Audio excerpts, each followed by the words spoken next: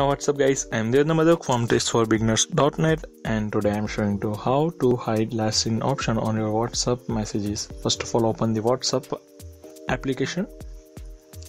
And after you can see here, one of the my friend have already hide their last seen option like this.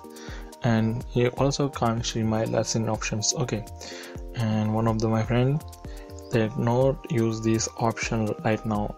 You can see your last seen option today. Okay so how to hide this option? That's very easy. Click on three dot option then click on the settings then after click on the account then after click on the privacy after then you can see last seen option for my contact. From there you have just select nobody. After selecting this you can't store any last seen of your friend as well as your also.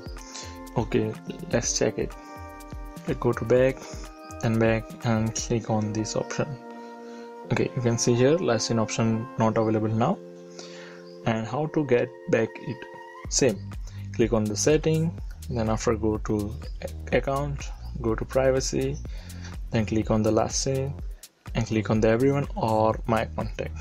Okay just simple go to back and option available again. Okay that's very easy. If you like this little bit tricks watch my other whatsapp related videos and like on my facebook subscribe this channel and watch another videos on whatsapp related facebook internet computer related. Thank you for watching these videos. Bye bye